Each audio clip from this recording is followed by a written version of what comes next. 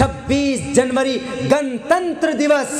26 जनवरी को, यानी कानून के दिन के तौर पर हम मनाते हैं। और ये कानून का दिन यूँ ही हमें नहीं मिला है। बड़ी कुर्बानियों के बाद हमको मिला है। और हमने यकीनन कुर्बानी पेश की है इस देश के लिए। अगर कोई बोलता है, अगर कोई हमारे इस देश की देशभक्ति के लिए अगर किसी को शक होता है तो मेरे भाइयों, आप बताओ, आज जो भारत रिज़र्व बैंक, ये भारत ये स्टेट बैंक हम यूज़ करते हैं, इस्तेमाल करते किसका बनाया हुआ है ये? ये मीर उस्मान का बनाया हुआ भारतीय state state bank of Hyderabad. वो इतना मालदार था, यही मीर उस्मान, जिनके नाम पर उस्मानिया यूनिवर्सिटी हैदराबाद के अंदर है। 500 टन सोना इन्होंने दान किया था।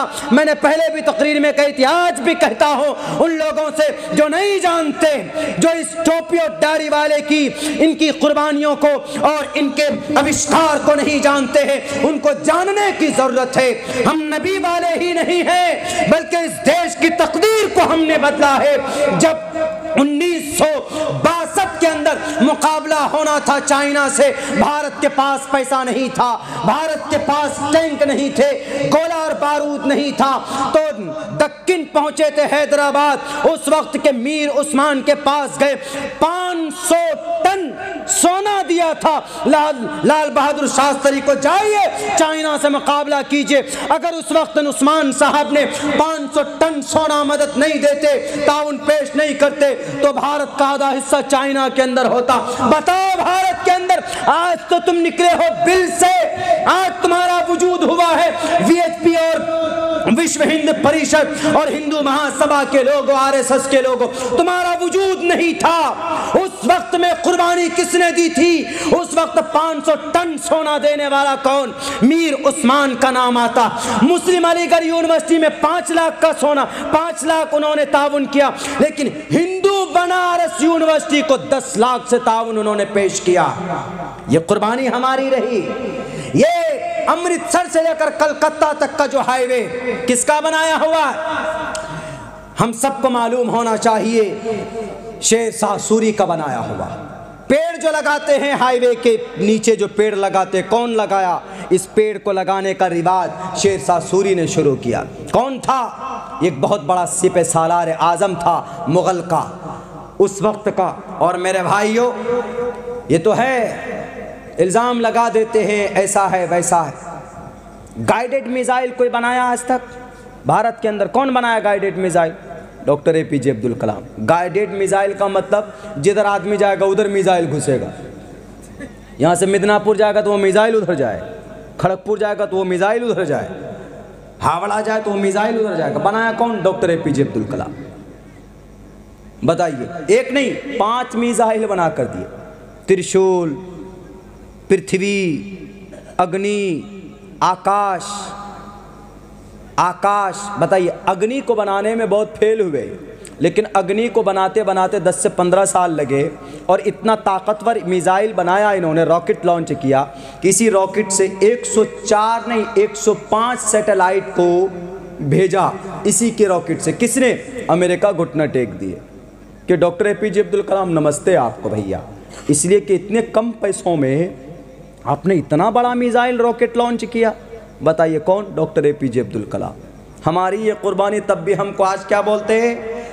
पैंतीस जो मेंबर के नाम होने चाहिए, कानून, साज, जो कमेटी बनी थी, जो 290 उन, उनासी लोगों की 290 लोगों की, उनमें से 35 में से किसी का नाम नहीं, सबका नाम काट काट कर, निकाल कर हटा दिया, सिर्फ़ एक नाम बाकी रह गया, मौलाना अबुल कलाम आज़ाद बाकी चौंतीस नाम कहाँ? मिटा दो तुम, लेकिन भारत के संविधान में लिखा हुआ है। ओरिजिनल जो संविधान लिखा, उसी संविधान के पेज पे देखिए, दो सौ उनासी लोगों का सिग्नेचर है। उनमें से 35 अराकीन जो हैं, मुस्लिम मौलाना हिफ्जुर्रहमान, मौलाना अबुल अबुल कासिम खान आपके, बंगाल के, मौलाना अबुल कलाम आज़ाद, बेगम रसूल, हैदर अली जनाब, सैफुर्रहमान, उबैदुर्रहमान, खान उबैदुल्ला ये मौला हसरत मोहानवी, इनके नाम नहीं हटा सकते। इनका नाम आज भी लिखा हुआ है। भारत के संविधान में, भारत के उस ओरिजिनल उस बुक के अंदर 26 जनवरी मनाते हैं हम। हम राष्ट्रगान गाते जो गाना ज़रूरी है। जनमन गण अधिनायक जय है भारत भाग्य विदाता पंजाब सिंध गुजरात मराठा। ये हम गाते हैं शान के साथ गाते और हम यूँ भी गाते सारे जहाँ से अच्छा हिंदुस्तान हमारा पूरी दुनिया से बेहतर और अच्छा हमारे लिए हिंदुस्तान है। इससे बड़ी देशभक्ति क्या चाहिए? जब ज़रूरत पड़ती है चाइना से तो 500 टन का सोना हम ही ला करके दे देते। जब खूबसूरती की बात आती है तो ताजमहल हमारा ही बनाया हुआ नज़र आता है। जब ऊँची मीनार की बात आती है तो, तो कुतुब मीनार हमारा चमकता और दमकता। जब जापान फ्रांस रशिया इन गाइडेड मिसाइल इनके पास है। भारत के पास नहीं। कौन बनाएगा कौन बनाएगा? सबसे पहले डॉक्टर एपीजे अब्दुल कलाम बनाकर खड़ा करते लो जी, एक से एक मिसाइल। सबसे पहले कौन सी मिसाइल बनाई गई? त्रिशूल बनाया। दूसरे नंबर पर आकाश बनाया। तीसरे नंबर पर नागा बनाया। चौथे नंबर पर पृथ्वी बनाया।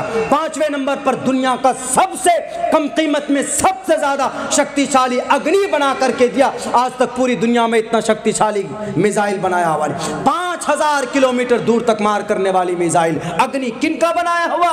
डॉक्टर एपीजे अब्दुल कलाम का बनाया हुआ। 26 जनवरी है, इसीलिए मैं बोल रहा हूँ, ये इतिहास हमारा और आपका। कुरान पढ़ते थे, उनकी संदूक में है ना, doctor A P J Abdul Kalam के संदूक में कुरान रहता था।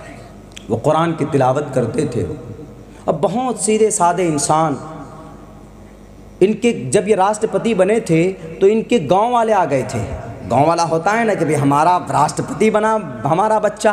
तो पूरे गाँव वाले को जब बस में आए तो जिस दिन वो लोग गए ना तो पूरा खर्चा जो सरकार के तरफ़ से हुआ, सरकारी, उन टोटल पैसों को जोड़ जोड़ कर अपने तनख्वाह से काट करके चुकाया। कि ये लीजिए। ऐसे थे doctor A P J Abdul Kalam. आज उनकी तारीख को, आज उनके मानने वालों को मिटाने की कोशिश की जा रही है। मेरे भाइयों, मेरे मुसलमानों, मैं तो ये कहूँगा कि ज़िम्मेदार हम ही हैं। हम बोलते नहीं अपने इतिहास को। तारीख की बात नहीं करते, नहीं। भारत के अंदर सबसे ज़्यादा इस्लाम किन के ज़रिए से फैला? तलवारों के ज़रिए से नहीं। अल्लाह के वलियों के ज़रिए से। सब जानते हैं। मोइनुद्दीन चिश्ती अलैह जिधर से जाते थे, नक्शा बदल जाता था उधर बाबा फरीदुद्दीन गंज शकर, अकाबिर औलिया अल्लाह की शक्लें इतनी नूरानी होती थी, उनके ज़रिए से इस देश के अंदर में फैला है इस्लाम। शक्ल देखते थे, उनका बिहेव देखते थे, इस्लाम। लोग, अरे इतना अच्छा मज़हब है, चलो।